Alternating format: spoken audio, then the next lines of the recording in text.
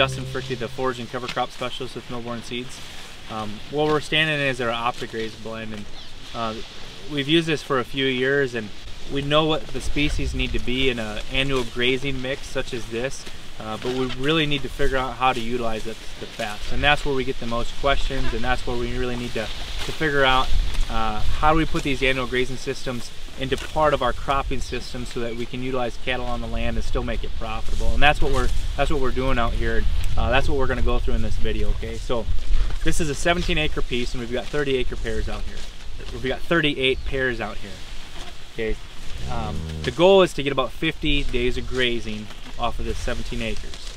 Okay, and that will that will cash flow really nicely, and we'll have some profit at the end um, compared to just uh, either dry lotting these cows or putting them out to, um, to a custom grazer. Okay, so what we do is um, we've got about 15 paddocks set up in here, and we use poly wire to separate those paddocks into about one and a half acre pieces. And then we're moving every day. Um, you know, utilizing a, a four-wheeler Ranger and, and, coming by and, and putting it, stepping in posts and um, and then reeling up your wire and, and, keeping it hot that way is, is pretty simple. I've just got a small tank that I've got above ground water uh, piped into and I can just hand move that uh, each night. So really it takes me about 20 minutes uh, every night to come out here and do that. And um, some guys say that that sucks, it's a pain in the butt to do. Um, you know, the argument there is I'd rather do that in a nice summer night um, than feed hay in the fall or winter. And if I can take pressure off of grass now in the summer and that grass can carry me longer in the fall or the winter, um, those are nights I don't have to feed hay. So that's a good thing, okay?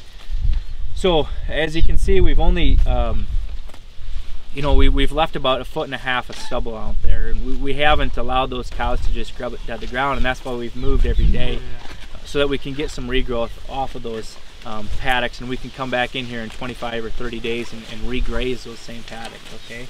Um, everything in here regrows pretty well, and that's why they're in here. The the oats, right now they're in the boot stage, so they'll tiller back up. There's Italian ryegrass beneath here that will continue to regrow. Uh, then the Graza radish and hunter and Winfred brassica regrow also. And then there's some purple top turnips out here. Um, you know, those are giving us the bulbs, and those won't regrow very well, but um, they'll supply some good feed here as well. Okay, so um, that's the mix. That's really how we're utilizing it. You know, and we've got some goals set in mind. We've kind of got a plan in place to, to how we can utilize it the best. And um, um, and it, it, should be able to do this. This is a, a, a great stand and a great example, um, and a good, good, example of how you can provide a little extra feed for grazing for your system as well. Uh, appreciate you watching. If you have any questions, just let us know. Thanks.